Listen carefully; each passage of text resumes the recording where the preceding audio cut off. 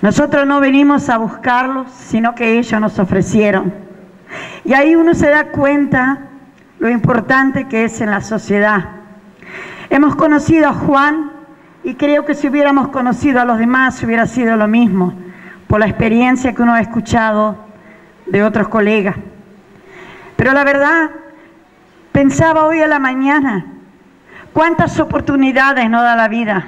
Y entro aquí y leo la palabra oportunidad. Oportunidades de empezar de nuevo. Porque todos muchas veces hemos fracasado. La vida no es fácil.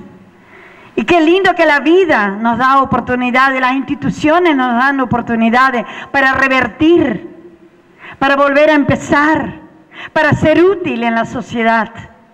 Qué bueno que es conocer a personas. Y eso fue la experiencia nuestra.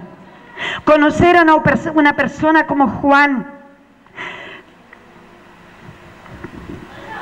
Yo me ponía a ver a mi nieto, que se hizo amigo de él un adolescente que a veces hoy viene a mi casa y me dice, abuela, lo vi a Juan por allá. Y la verdad fue una experiencia hermosa como humanos. Y uno mira a Juan tan desinteresadamente, no miraba el horario. Hoy en día cuando vemos a tantas personas que miran el horario para no trabajar una media hora de más, eso vimos en Juan. ¿Cuántas veces mi esposo le quería premiar con algo? No, no, no, no, no, no. Él no quería.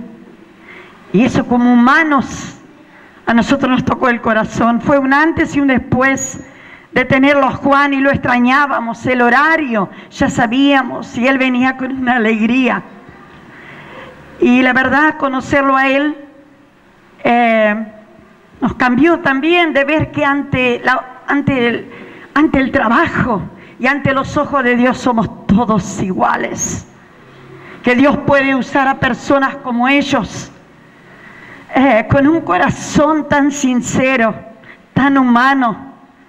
Eso es maravilloso.